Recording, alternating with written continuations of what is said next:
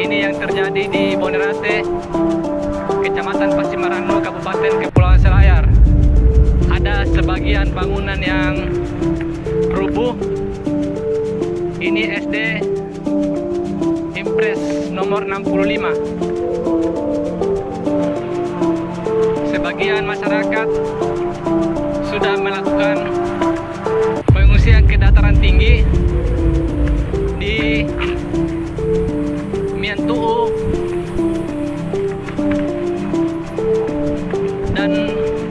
you.